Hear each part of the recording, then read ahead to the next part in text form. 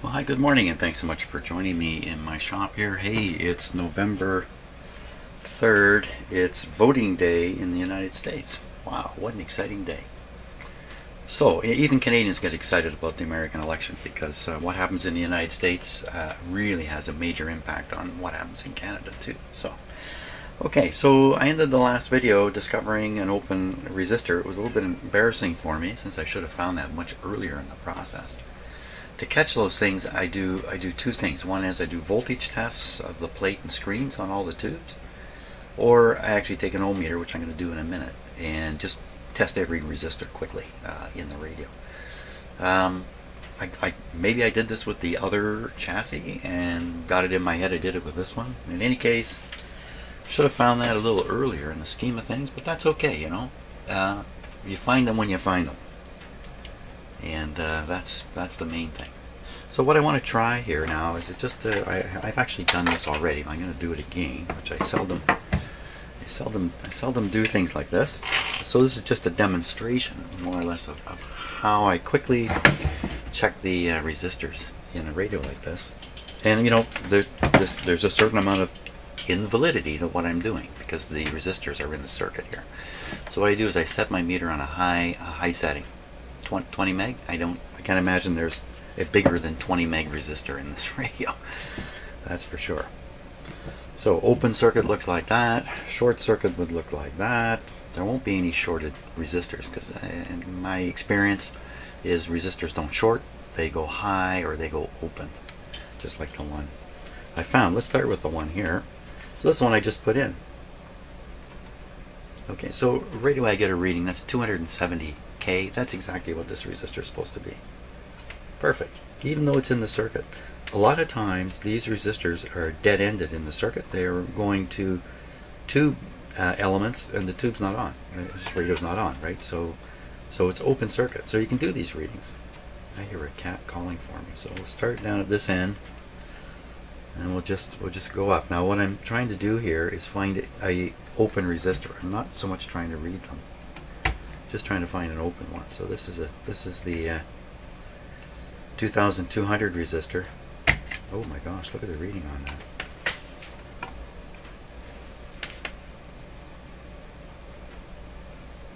That's more like it. So on the 20 meg scale, this resistor, 2000 ohm resistor, is going to look like a zero. That's all you need to know. I'm not worried about the value of it because I tested it earlier. So, okay, so that's a million that's actually a million resistor there. This one up here is 2 million. This is a 2 million resistor. It's not it's not open. So one hidden right here. I'm not sure what it is because it's blocked from view. A million. So again, it's not open. This orange wire I installed to short out where the battery goes. The battery goes in here and I've taken it out so, so that's what this orange wire is. And there's a resistor here. This is a 270K. Okay, that's good. There's one here. This is the 50 ohm one here. So it's going to look like a zero on there. So you can quickly go through a radio like this, and here's, here's a resistor. You can hardly tell it's a resistor. And you can check for opens pretty quick. That's a very low low reading there, isn't it? It's a fairly large resistor. Here's a little guy here. This is red. This looks like uh, 20k to me. Well, 10, 10k, 20k. It's not open. That's the main thing. So I've checked all the resistors in here now very quickly. None of them are open. Had I done this earlier on this radio, I, I would have found this for sure. But I didn't. And I guess I didn't do the voltage checks either because, uh, yeah, actually I found it the hard way, that's for sure. Okay, so no more open resistors. Good. What do we want to do with this radio now? Now that I think it's working. Or is it really working? You know, it might be good to do a voltage check through here. Um, I had read of pretty high plate voltage on the 6B8, but I'll bet you it's down now but the screen is involved. Um, yeah, maybe we'll do the same thing. We'll do a quick uh, voltage check through the radio. Okay, so just before I go a little bit further with this radio, uh, some kind viewer, maybe you, if your name is Lawrence, took pity on me and realized another viewer had written an excellent description of how the uh, 6 uh, 6B8 tube works in this in this radio, and it is quite a curious thing. So I'm going to take advantage of this, uh, but just and we're going to go over the uh, what has been sent to me and try to figure out with that uh, added description just exactly how this radio manages to detect its audio signal. And uh, but before I do that, I got a comment about comments. now, many of you have been uh, viewer of mine, viewers of mine, maybe you for a long time, so you know my attitude about comments. It's it's I don't read them. It's not that I'm against them. I'm certainly not, and I encourage people to make comments, even if they're a little bit critical, a, a little bit critical of what I'm doing, that's fine. I'm happy to know that there's a discussion among serious minded viewers uh, trying to anticipate what's wrong with the project I'm working on or my approach to it or whatever it might be. That's just fine. All I'm doing here in my shop is showing you what I do. I'm not showing you the right way to do anything. So the comments are great. And other people trying to learn how to do this kind of stuff or or getting stuck on their own projects or whatever it might be can benefit from the wise comments left on my video even though I'm not reading them. I'm not reading them for nine good reasons. Uh, I won't go into it, but uh, I have in the past. But there's some really good reasons for not reading the comments. The, the main one being they're quite stale by the time they make it on the video. I'm two or three hours down the road working on the radio and read comments about things that occurred and no longer matter. It's, it's just the other thing is, you know, I have a life I'm trying to have outside of the shop here. I, I, am married and I have two cats, so can't be doing this 24-7. Can't be distracted all day long by comments coming in from the thousands of videos I have on YouTube now. Okay, enough of that.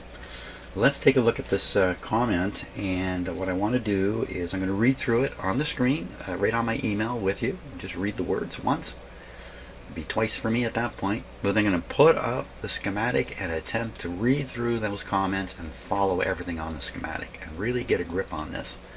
This is something really quite quite special they've done here. Uh, very uh, clever engineers have managed to make this radio work in a way that's unlike, well, I don't know if I've had another radio on my bench uh, that has this technique in it. And the reason probably is because they gave up on it.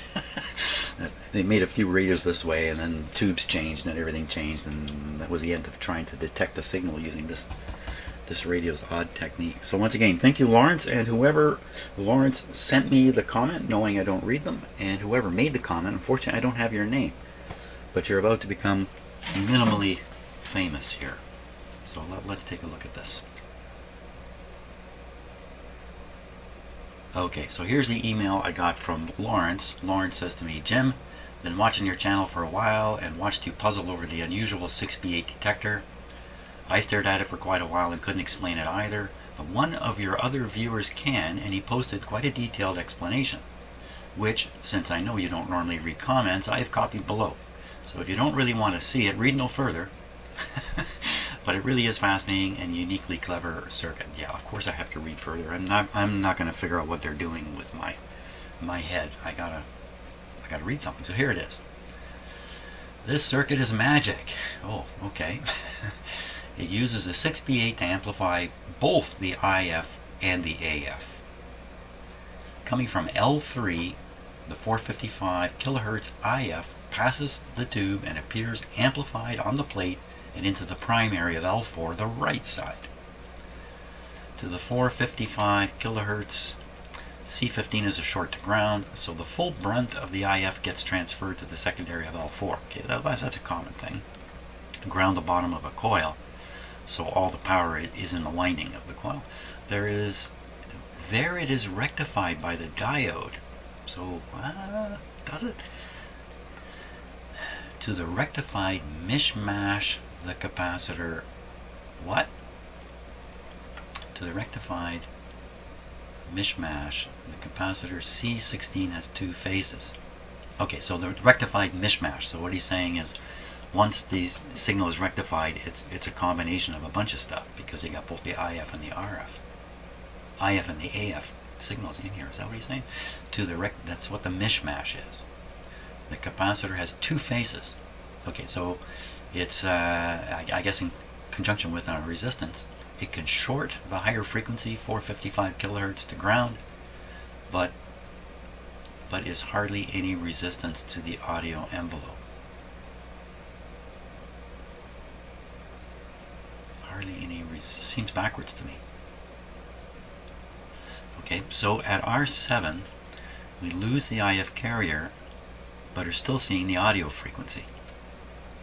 But that's only if it's been rectified, and there's no rectification on my schematic. Or did I read it wrong? This signal now gets fed back into the grid of the 6B8 by means of R9. Pay close attention to the value of C13. It is small, so we'll only short the remaining RF, but not the AF. That's kind of what I... Okay. So, the demodulated AF getting back to the grid of the 6B8 is amplified too. So, so basically, they're trying to use the 6B8 triode amplifier to amplify RF rectify it, and then fire it back through as an audio signal. And then using capacitors and filters, pick off the audio and send it off to the, to the grid. And that's my interpretation here. To make the point clear, demodulated AF and undemodulated IF exist in parallel inside the pentode section. Maybe in combination might be a better word there. Or together, maybe exist together, maybe is the best word.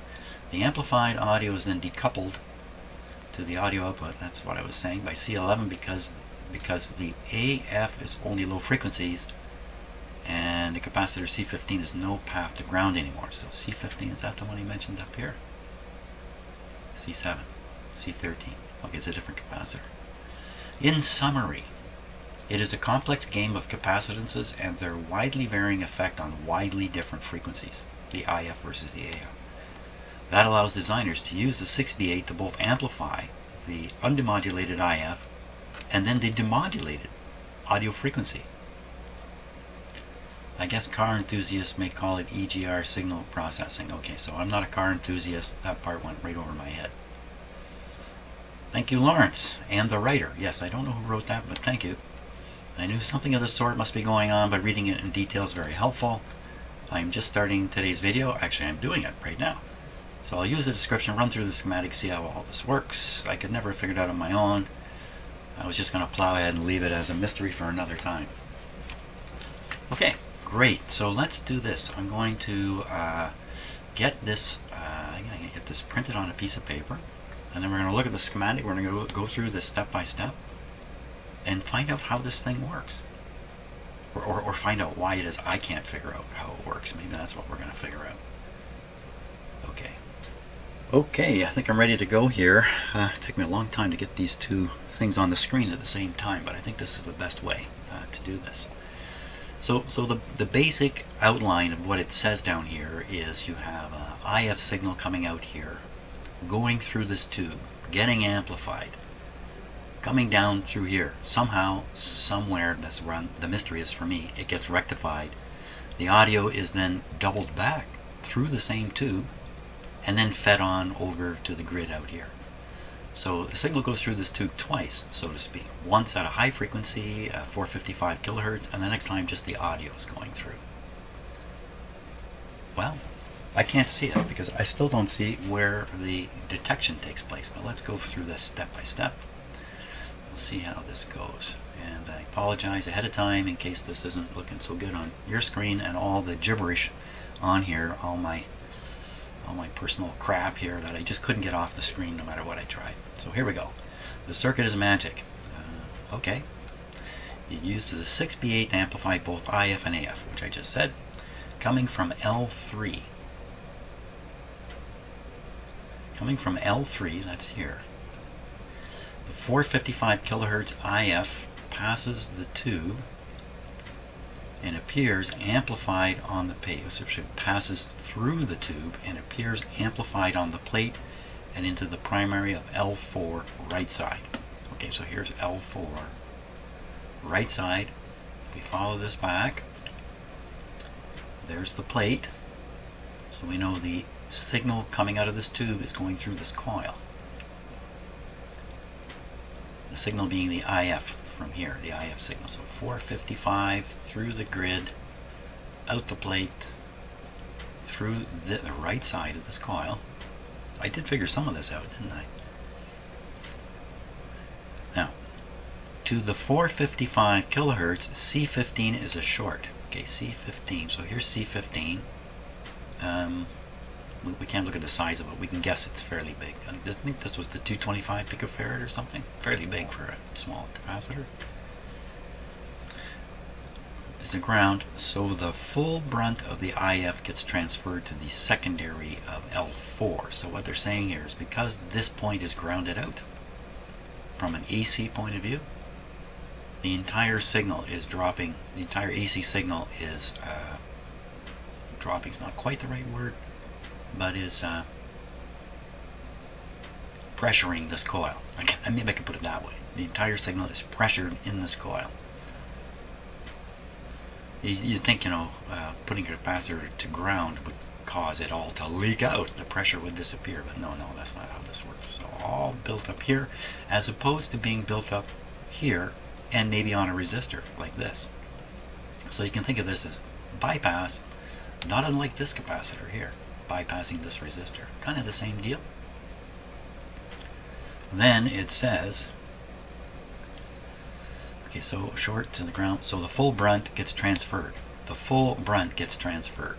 So you maximize the transfer here instead of wasting some of the signal in a resistor like this.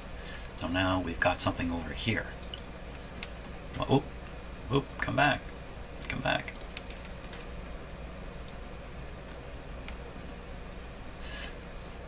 There it is rectified by the diode. Okay, so now, now it's in here. Sure enough, it's hooked up to this diode. So in here, it's rectified. Not in here though, but in here. Okay, I, I got that. To the rectified mishmash, capacitor C16 has two phases. C16. Here. Oh. Oh. That's interesting. I didn't really think about this one with two frequencies approaching it. Thought about all these other ones, but I never thought about this one. All I thought was, this guy is here to resonate this coil at the IF frequency.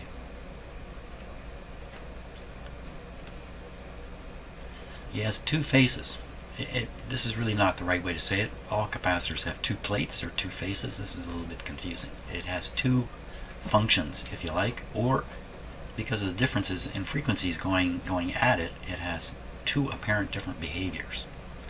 One behavior, it shorts the 455 RF to ground.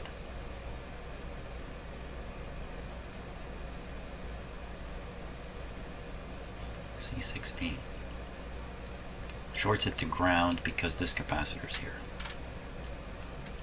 So this isn't ground here. So C16 shorts it to this point which is signal ground because of this capacitor.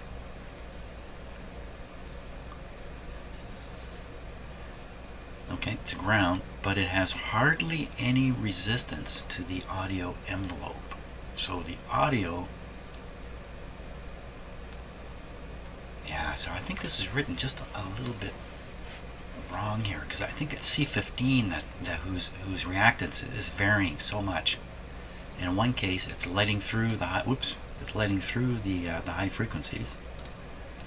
In one case, but audio can't get through here. So I think where he's written C16, maybe it's C15. We talked about C15 up here.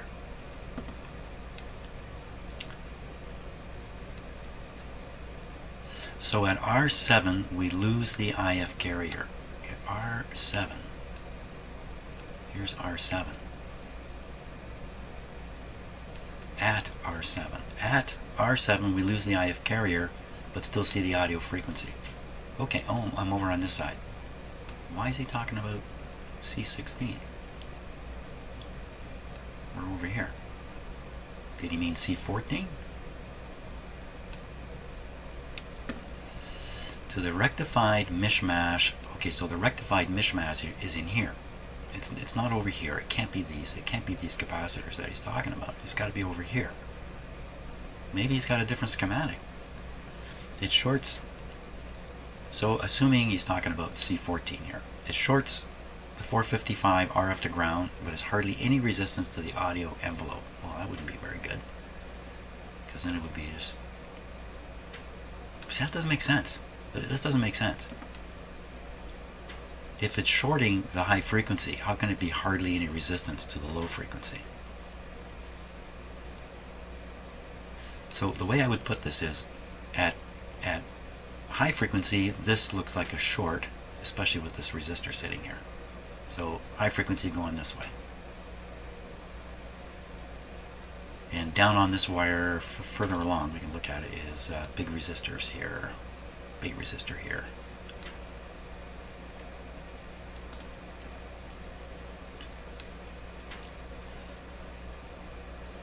Okay, so so at audio frequencies though, they, the audio, the detected audio that's in here now, or the potential detected audio, can I put it that way? The, the audio that's almost ready to go to the grid of the output tube is sitting in here. Almost ready because it still has RF in it. If I get rid of the RF, it would go here. You dump the RF out here, and you know there's various ways of looking at how these things work. And I'm saying it dumps the RF out, and other, you might say, well, this capacitor is busy filling the valleys and making this smooth, or you could look at it differently. But in any case, uh, fill the valleys, fill the valleys but it won't knock out the audio. So the audio is sitting here now. So now the audio, the audio, we travel on here, come up here, and boom, right back into the, yeah, right back in to the grid. Coming through, now it's coming out in audio, audio, there's an audio frequency in here.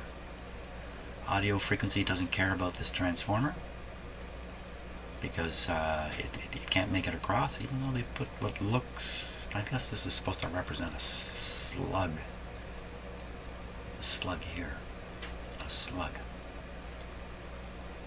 So, so the audio also, when it looks at this capacitor, it sees this as um, high impedance because it's low frequency, but it can look at this and come right through here, right through. So the audio comes through here, doesn't transform because the inefficiency of the transformer uh, at that frequency. Audio's here now. This guy's too small to drain it into the chassis. This guy's too big. C11, C15, how do they compare? C11, so C11 is a fairly big 0.02 and C15 is a, well it's a 350 pico, much, much smaller. So the preferred path is this way for audio. Uh, R10, what's R10? R10 is uh, megohm, big one. So the audio doesn't pay attention to this. Audio is going right here, and out it goes. So, now the, the question kind of becomes, so yeah, okay, so I think what they have to do is they have to take the output from this tube and do two different things with it at this point. And so by arranging this, they've been able to do that. The, the advantage of this whole deal is there's one tube less in this radio. Because normally this would be a simple amplifier and then you'd put the fancy tube over here.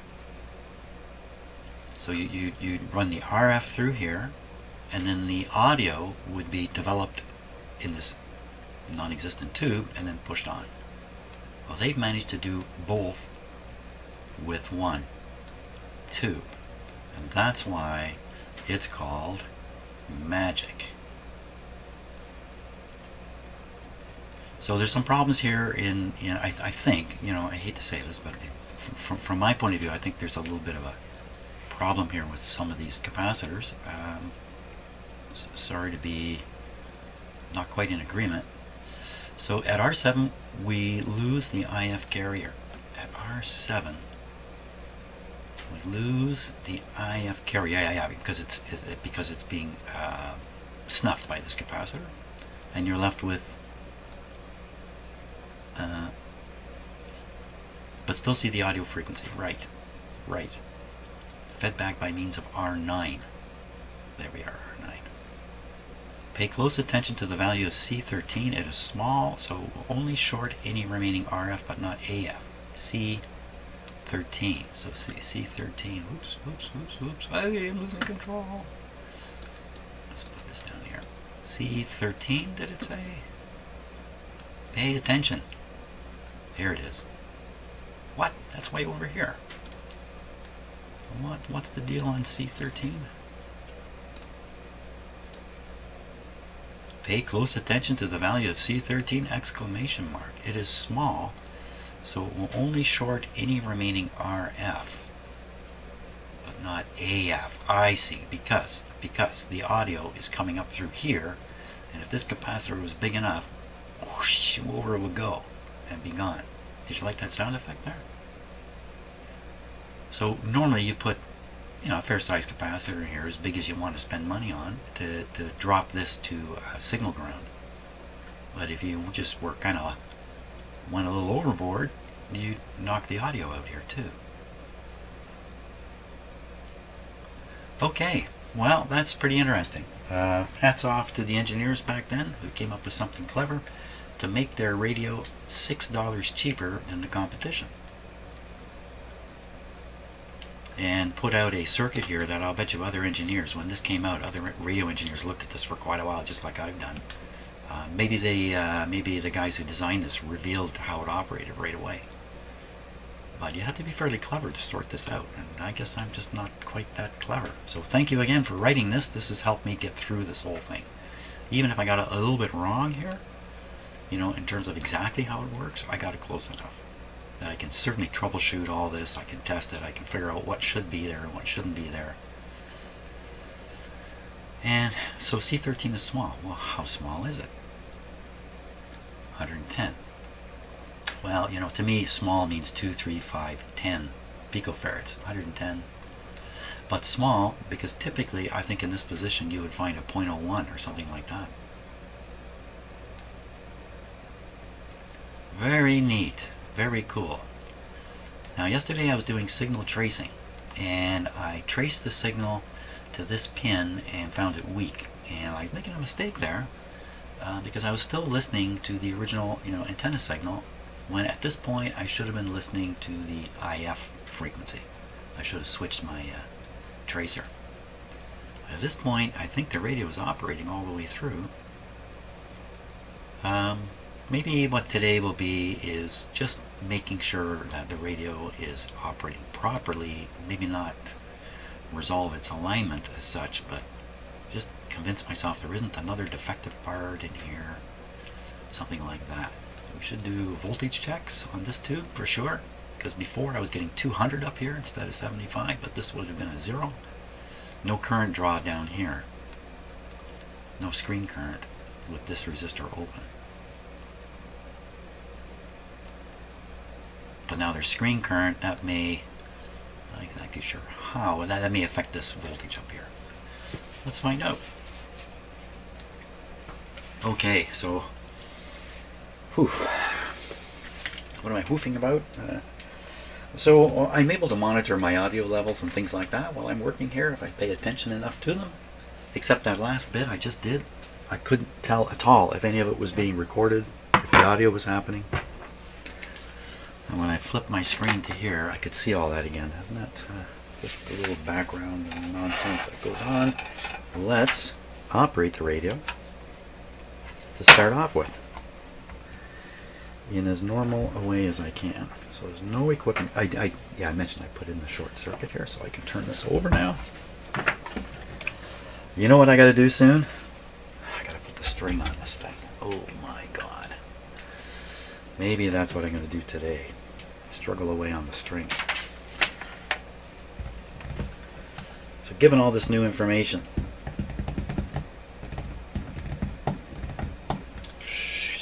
I think I got to deal with the string next. So let's play the radio, hear the thing work, rejoice, rejoice over it, and then uh, bear down on the string string. So the string, what makes a string challenging is us humans can only tolerate so much. when you work on a string on some of these radios, it takes you right right to the limit. And now I know for sure the switch is not thrown for this antenna. Oh, it's not ever sound like a radio, eh? Fantastic.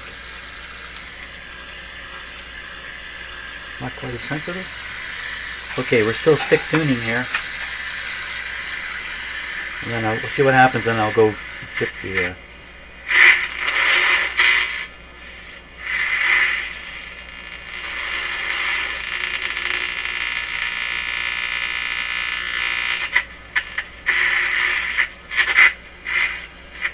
Okay, so I'm going to run and throw the switch to make sure my antenna is, is on. I'll be right back in. Oh, I don't know.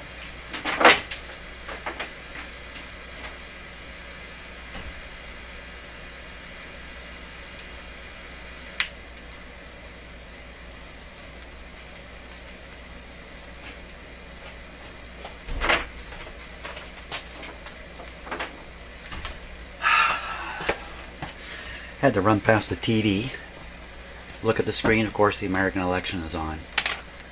I don't understand why there's so many lineups in American elections. Um, here, here in Canada, we, we don't face lineups. I mean, if we do, it's just a couple of people. It's nothing. It's just a few minutes. It's nothing. How come there's always, all my life, all I've seen are these huge lineups in American elections?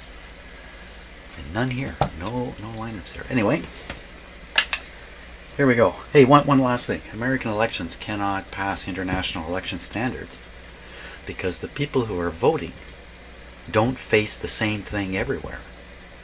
So if you vote in one state, the system works on one way, the lineups are a certain way, the polling booths a certain way. If you vote in another state, it's quite different. That negates the election. All voters should be facing exactly the same thing. If I'm facing a two minute lineup here where I am, people all across Canada should be facing two minute lineups or something similar to that. What was that? Okay, enough talk about elections. We've had two provincial elections here in Canada just in the last few weeks. Come and gone. Boom. Just like that. Uh, antenna's connected, so we're going to try to tune something in here.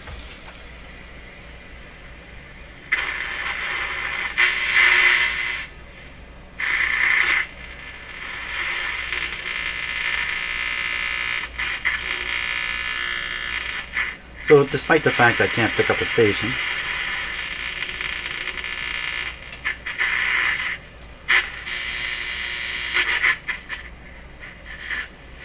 I mean, this radio sounds like it's working great, actually.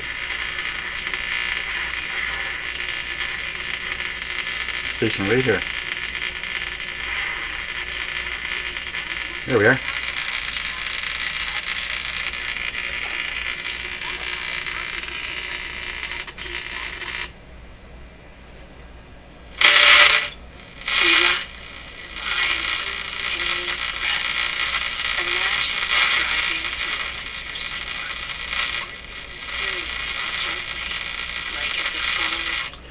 This is a really strange volume control because it's not simply a resistor, uh, a variable resistor, uh, grounding out the antenna. It's tied right back to the local oscillator in, in some weird configuration, which I, I only looked at briefly, and then uh, brain cells started coming out of my ears, so I stopped looking at it. Um, sure seems to behave weird too, but radio's working. So you know what I think this is all about now? All about the string. Oh boy. Okay, power off because we certainly don't need any power to do a string. The lucky thing is I have another radio here with the string on it. So I can look at how the string is done properly because I don't have a stringing diagram and what was in my head is not right. Let's get the other radio here.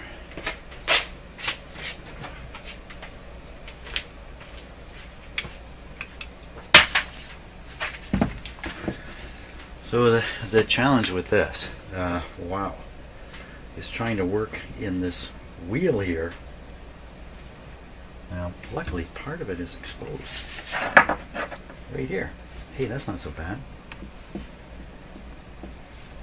That's not so bad. I can get at that. So we, we can actually see how it's done too. So there's a couple ways strings can be done in here. what they've done with this string, the string is actually a loop. They've, they've tied the ends together. That knot is sitting right here. Then the knot is on the spring. You can see a little bit of a spring there. And then the spring is, well, it's just, can, I- can I get this all the way around to reveal that? Where the spring, yeah, so even the spring connection, although this is in the way for your view, I can see it there. This is actually not that bad. So one approach with me would be for me to remove the string from this radio and measure it and then duplicate it with new string. But I'm not going to do that. Another really important thing to figure out is how are they doing this? So I got to count the number of times around and, and that's not the easiest thing. So we're going around once, around twice, and then out the bottom. You come down, around once, around twice, and out the bottom. You're coming down from this side. I don't know if you can see it or not, but the string is really roughed up right in here. The string appears to be running into itself here. No, maybe not. But this string's ready to break right in here. So you see the size of the spool down here too? So as you tune the radio, the string will walk across the uh, walk across to the other side. In some radios, this is big enough for the whole string to just walk across, back and forth. And if somehow it got out of the center here, if somehow it, instead of being here, it was way over here, and then it's going to try to go further, it has a wall to climb up, this curved surface. And all this being nice and smooth here and beautiful, the string will slide back. Now, can I possibly make this radio demonstrate that? Probably not. Not without breaking the string. In other radios, there isn't so, so large an area here. And the string more or less sits in the middle and slides the whole time because it has these, these curved walls to try to climb up. It can't climb up it. So in trying to climb up it, it means push pressure and push the string back. In a radio where you can't see any of this, you're just maybe you're looking at one at a yard sale or something, and you're turning this dial and feeling it. There's a few things you can figure out just from doing this. I mean, is, is it working at all? Like, is the string even there? I mean, you can figure all that out. But often when there's trouble down in here, for instance, the string can't slide on the spool the way it has to slide, then the string will climb up and then fall over onto itself, right down in here, and pinch itself, and and and basically walk it off or make a nut, make a knot of a sort. So as you're turning this, you get to a point where it suddenly it starts locking up, but if you push it a little harder, you can make it go a little further, but then it wants to come back. It's right in the middle here. My advice in those situations, don't push it. You can maybe walk it back and go forward further and walk it back and go forward further if you really want to. But if you get to the point where the string is, is, is going over on top of itself, you're getting really close to breaking it. You keep pushing it, the string tension is going up. The reason you can move it a little bit is the spring is compensating on the back. And if you don't realize this, you'll think, oh, it must be a little stuck. I'll just push it harder. String broken, and then you're facing what I'm facing. So uh, that's the deal.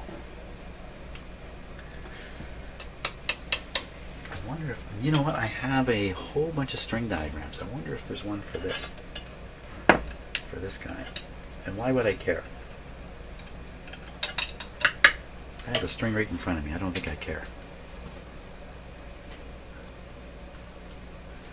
Okay, uh, before I start doing this, I'm going to go and relax a bit by watching television. Oh, that's not going to work. Yeah, it's another country. It's not my country. It's another country.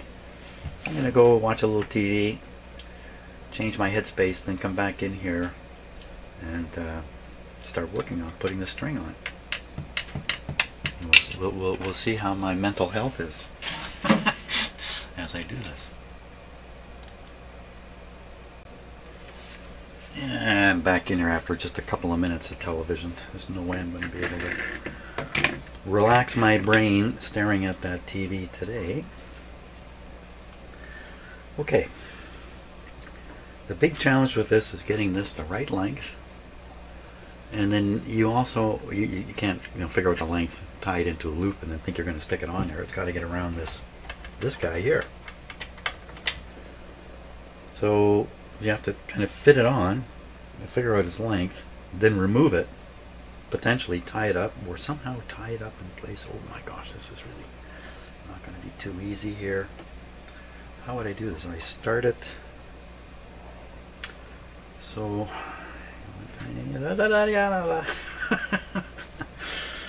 I guess in a factory situation, they know what the length is supposed to be. They measure it out. They tie it off and cut it. They before they do that, they get it around here. I mean, they do it, and some guy's done one radio after another all day long, and he's figured out everything about it.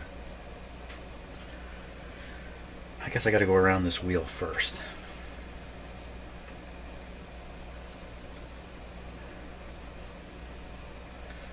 Even that's not easy to do. Okay, let me get some tools out here. I'm going to need my oh so important pusher puller.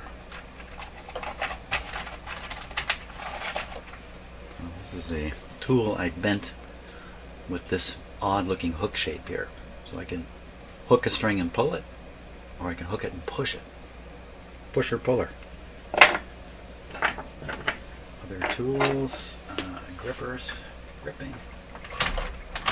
Um, sometimes when you're doing this, you're going to want to fix the tape, fix the string to where it is temporarily because you've only got two hands. So in order to do that, I need some tape at the ready. This is about protecting my mental health during this affair. So I think what I'm going to do is I'm going to put a little loop in it, feed it in here, hook it hook it on something. That'll be the starting point. Bring it out wind it. Oh this isn't going to work at all. This is just not going to work.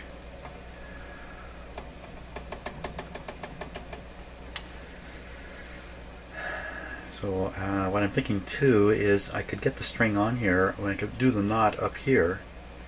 Since there's no pointer on the string right now I can then slide the string until the knot appears here and then attach the uh, spring to put the tension onto it. So in that case, I would literally be installing the string just right on here, not worried about it going down in the little, the little hole there. And then we just pull the spring out. How, how far is that? Oh, this, this barely went in the hole, come to think of it.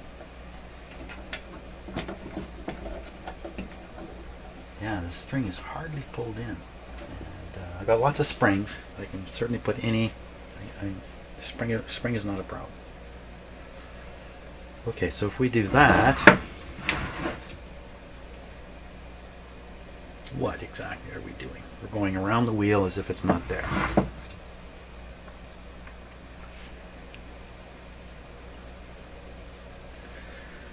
Okay, I'm going to start down here.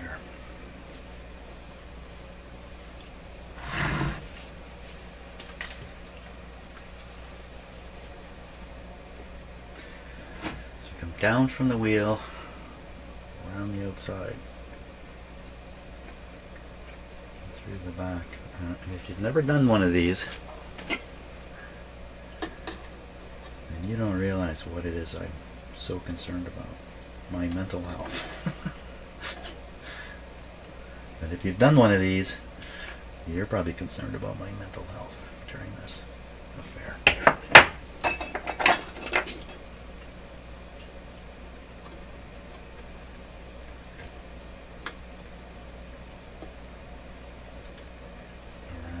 down.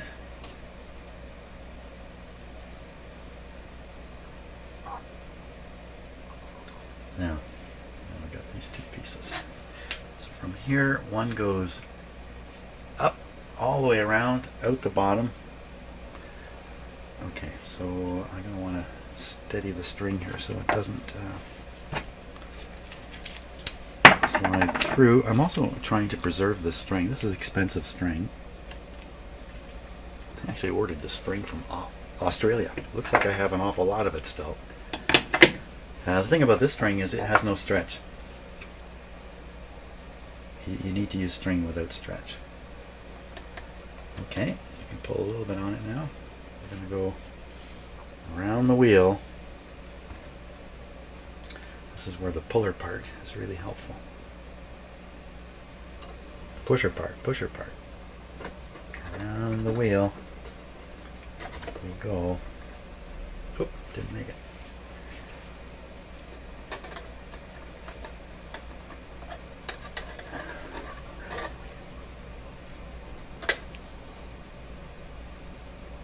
Okay, so I got it around the, the, the shaft, but that's okay for now. Go around the wheel, come up the other side, go across, pulleys. I got the tape here. I'm going to tape this right now, just a little bit. Okay. So I got to get this on the wheel here. I can't make a measurement without it. It not being really on the wheel. Would this actually go right? Yes. Comes up.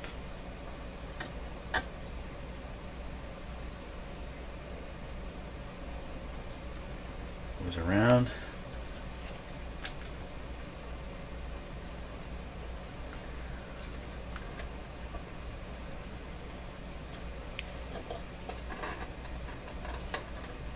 Gotta get out of there. Oops.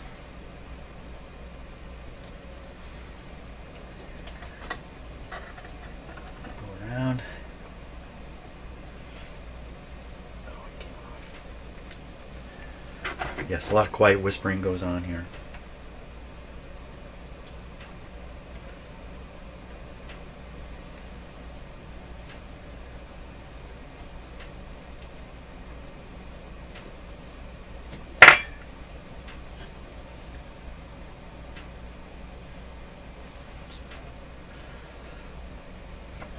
This is all about getting a measurement.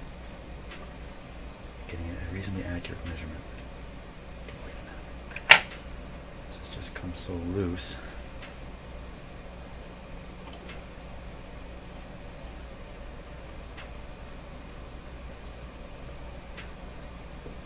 Okay, okay, we got it to here now. Okay, we're around the wheel. Around the wheel on the pulley. No, not actually on the pulley. Pulley. Down you come. Where do we go from here now? We go down. Go around. We come up the other side. Is that right? And go, go down. Wait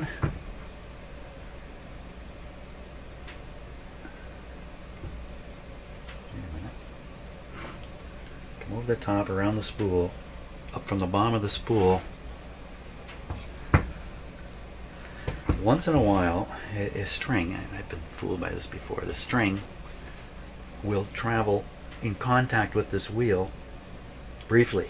Like, um, I don't know explain it exactly. It'll look like it's going around the wheel when it's actually just running along it for a moment. I think that's what's happening here. Because there's there's two on this side going down, one coming up.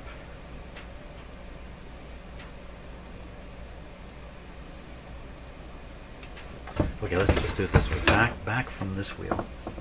The string goes. I think it does exactly that. It just comes up and kind of rubs against this wheel. So if I saw so so to bring the string up, um, first I got to lock it here somehow a little bit so it won't go anywhere. Put masking tape on the front face of this radio. You bozo, what are you doing, man? Oh my God, that's a stupid move. Ah. Okay, nothing bad happened though. But I'm, upset because I could pull the uh, pull the pull the words off or whatever on the front here. Oh, I almost did that. Okay, don't pull on this. Don't pull on this. I gotta lock this better. It's usually right about this point that the string falls off everything and you have to start over. And this this is where the uh, the tension does come. Um, give me a good clip here. Don't know if this is a good clip.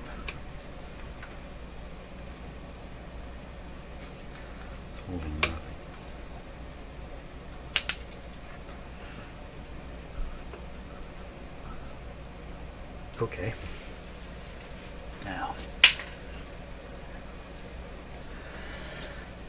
where am I? So I'm coming down here. You want to come up past. I want to come up and tie to the string here. Is that right? So we come up. What is it really doing on that wheel?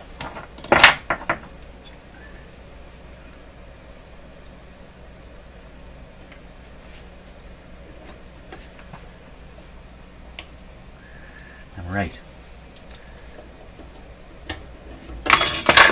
So although it comes in contact with this wheel, it's not going around it.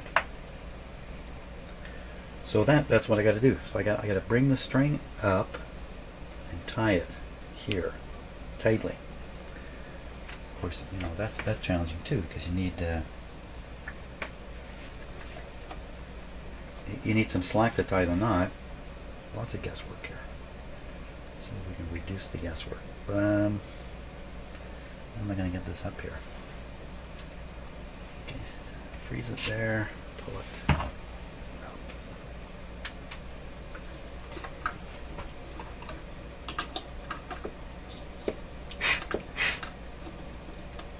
It's me blowing the string into position so I can grab it. Who needs a third hand when you can Okay, so that didn't go right. I got caught on the uh, volume control. It got caught on the volume control. You certainly don't want that happening. So I got to do it again. Just catch it here.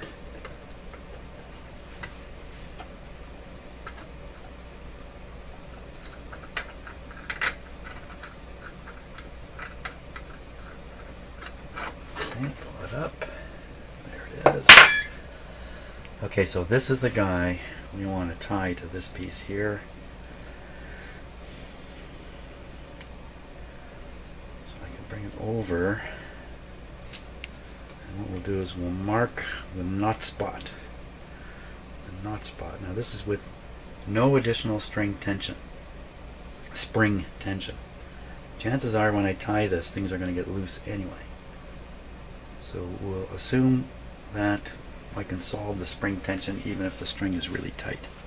I succeed in doing that. Let me get a marker here. I want to put a mark on. Come on.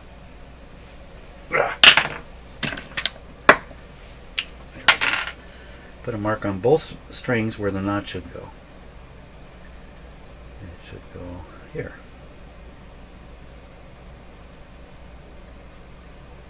Okay, so if it sounds like I'm, you know, I'm really doing good here, I, I get the impression I'm doing really good so far. Don't be fooled by it. So now I want to tie the knot there, slip the string so the knot is in the hole. Actually, it doesn't even matter if it comes loose. Doesn't matter. This also gives me uh, string uh, cutting string cutting. Uh, how many times have I done this where I've gone and cut the strings and then found out I'm a millimeter too short or something stupid like that. That's happened too many times. A little excess here. Okay, and I got to tie a knot with those red red guys in the same spot. If I do a real good job of this, the string will be really tight.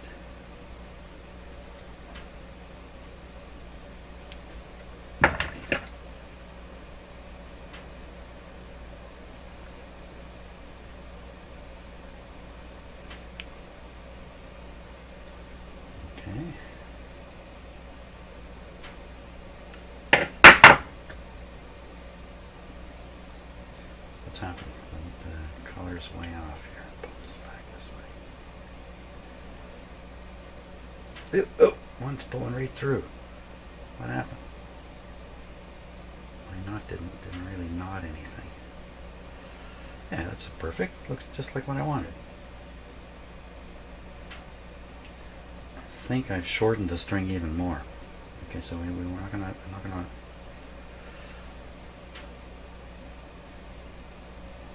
Yeah, I definitely shortened. Pull this back a little bit. That's pretty good. Let's see what we can get out of that. Okay, so now I gotta get this hooked on there. And we'll see what kind of tension is in it, if any. There may be no tension. If the string is bigger than needed, there'll be no tension. If the string is significantly smaller than needed, the tension will be in me.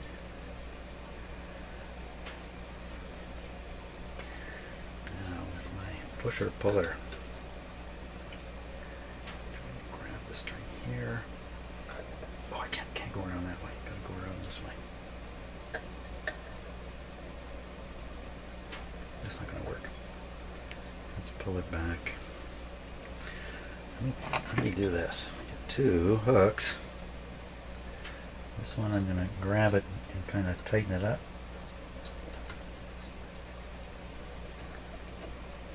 And this one I'm gonna try to put it in place.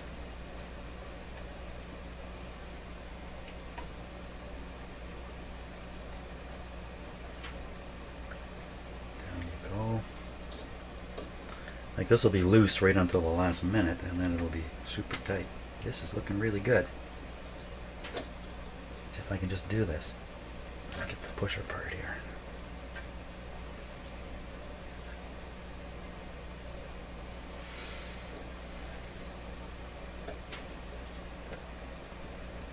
Get on there.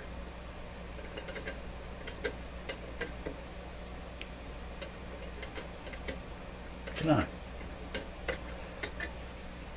The problem? String is just caught on the edge here.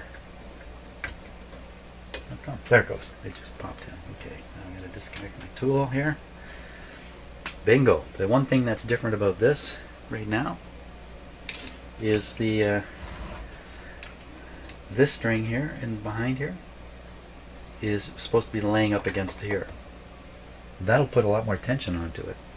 How much tension is there? So I'm going to grab the string and try pushing it down in here just to feel what it's like. And we'll turn this a little bit. Hey, you know what? That's perfect. Okay, now we got to slip slip the knot. Oh, first I got to tie tie the knot. Tie the knot tighter. Tie the knot with another knot. Then often I put a little bit of glue on on this kind of thing. Okay, we'll do it like the doctors do it here.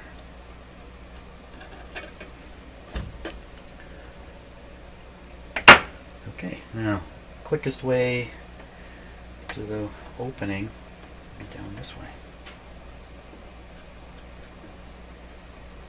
So the thing is when you when you pull when you pull on one of these strings, like I'm pulling this way, right? You pull, you increase tension. Believe it or not, pushing is what you want to do. It's a continuous string. Let's see if I'm a liar. Push. I can hold the capacitor in place because I want to put the knot by the hole there. Come on around. You can do it. Yeah.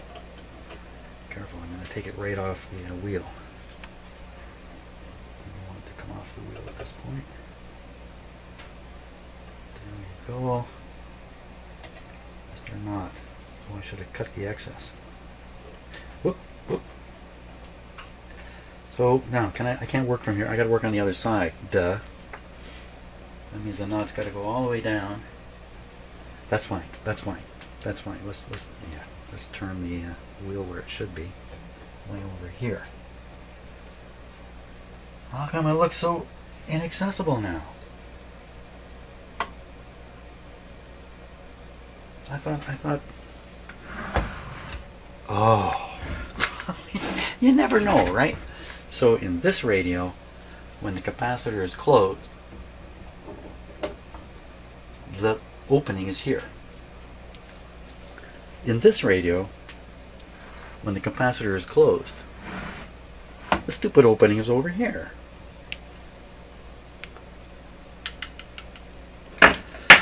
So, okay, it doesn't really matter. Maybe it doesn't matter. Maybe it doesn't matter. Yeah, it does, because when I have the capacitor open, it cannot access in here. Oh, it's very difficult to access in there. Can I possibly do it over here? Where does the...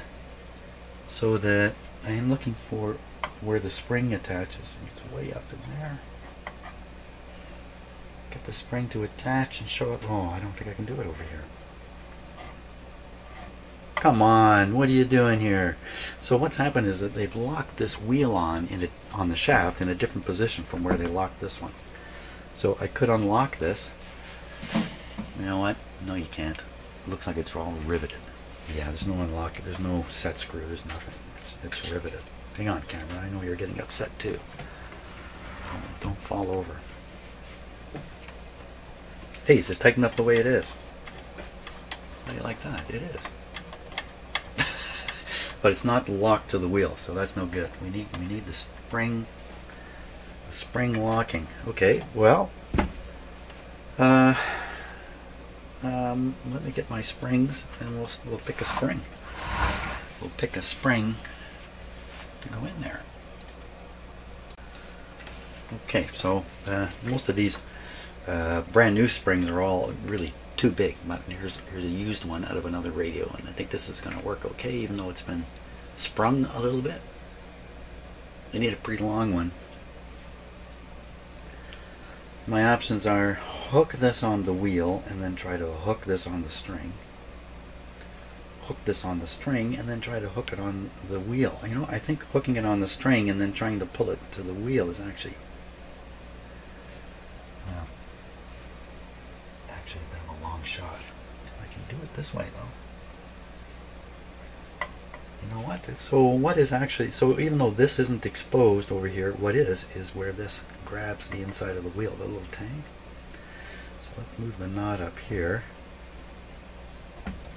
Come on, little knot.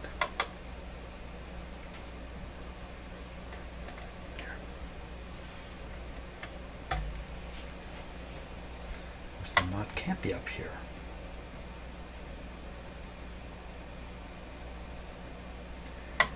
Yeah, I can't.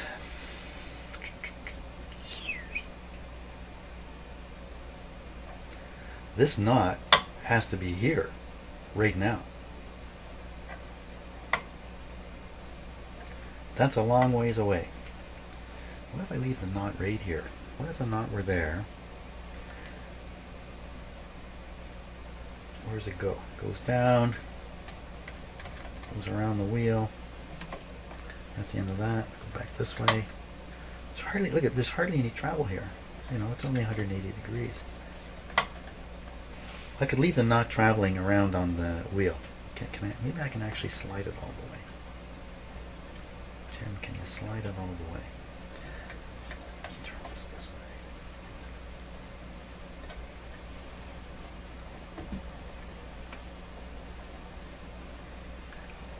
Sure can go actually right, right past. Fiddly stuff, isn't it? Yes, sir. Listen to him mumble as he does this stuff. Okay, I'm gonna pull, push this the other way now.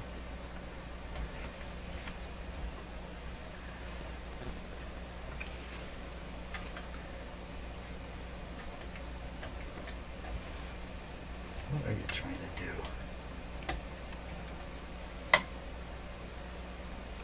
Just trying to attach the spring, pull the string there. Then I do that and see what happens. Maybe, maybe that's what I should do. Leave the knot where it is. I think it's fine. Try to get this on. How am I going to do that? How am I ever going to get it in there?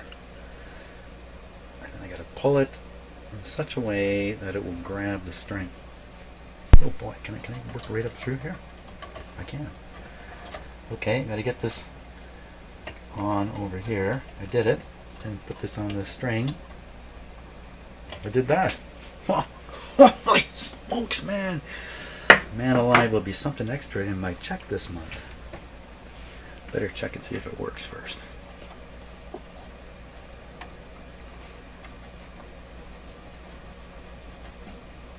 Uh-oh, what's going on here? This isn't right. Okay, I gotta give up the extra money on my check already. This, this didn't work right First of all, it didn't really grab the string.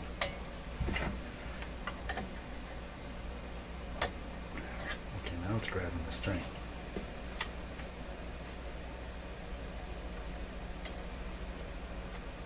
Yeah, what's wrong here. Uh, how, how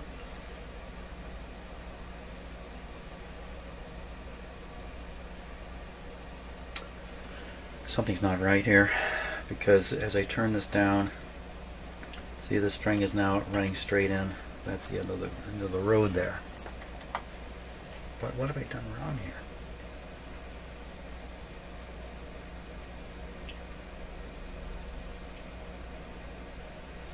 This is supposed to come down and go around the wheel. These two radios aren't strung the same way. That can't be the case. I must have made a mistake must have made a mistake. So the problem is yeah uh, this goes down. This looks exactly the same as this. Mean that was my intention. Comes up the back side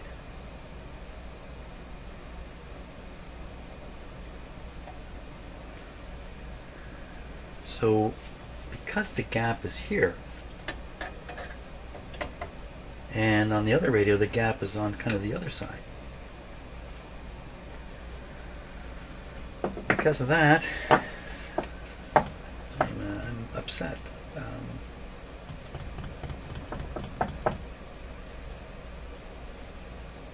Jeepers, creepers, is there just nothing this radio can't make difficult? Uh,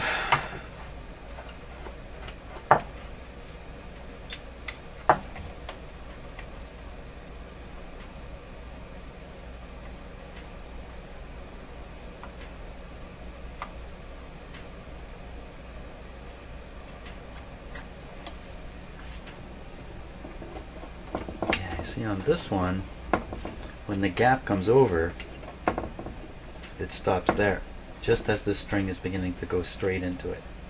This one, where the gap is way over yonder.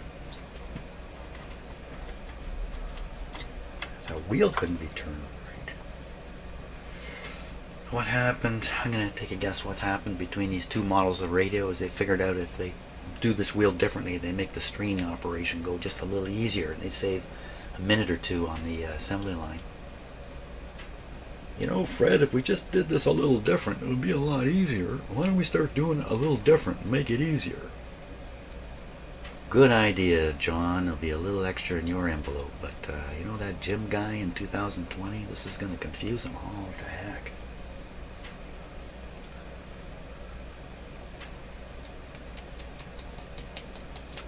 So close and yet so far. Is there another gap? Is there two gaps and I'm working in one? No, there's only one gap. Only one gap. Rivet it on. Break time.